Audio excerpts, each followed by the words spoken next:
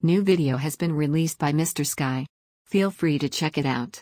Link in description. Johnny Depp is back on the stand as Amber Heard's lawyer plays an audio tape in which he sounds unhinged.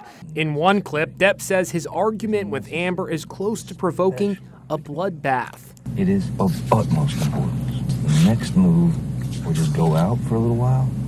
It's just it's just gonna be it's just gonna be a bloodbath. Audio was played of Amber begging Depp to stop fighting with her. This is Please stop doing this. Please, you're causing me so much stress. I'm gonna die at this age. I'm gonna die. You're causing me so much stress. Please stop.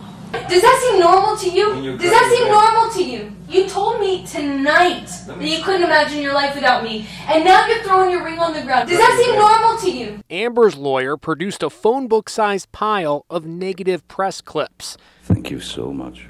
Depp's last contract from the Pirates of the Caribbean franchise was introduced in court. Look at his salary $25 million. Depp talked about his shock at being dropped from the popular franchise.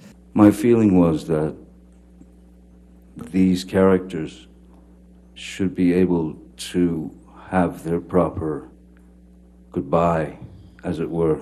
And in regard to his substance abuse, Miss Heard wasn't the only one who had a problem with your drinking, correct? Sir, if anyone had a problem with my drinking at any time in my life, it was me. The only person that I have ever abused in my life is myself.